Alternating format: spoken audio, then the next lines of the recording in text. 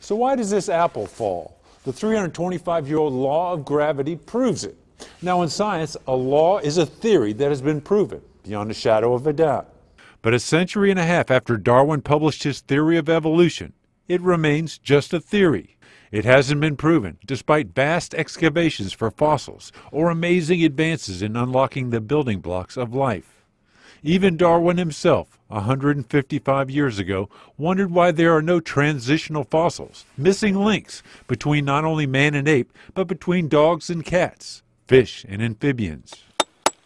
In fact, all the animals alive today can be found in the most distant fossil records, although most have evolved to adapt to changing environments, but nothing showing one species changing into another.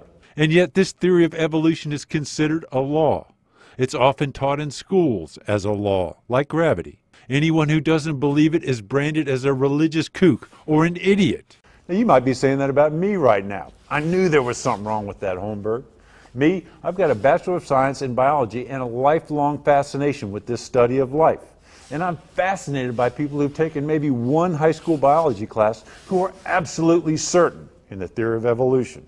Those that basically are in charge of science in this country, they will not allow alternative hypotheses to be presented because their philosophical view is as strong as their scientific view. Almost religious in nature. It is, it is. Just as strong, Darwinism is a stronger religion as any other typical religion that we think of. Me, I don't think biblical creationism should be taught in science classes.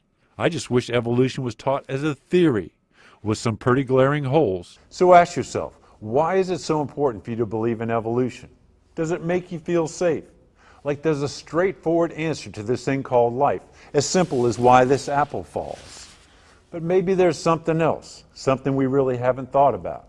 One thing's for certain, we won't find it if we're not looking for it. That's my take. I'd love to hear yours on WTVR.com.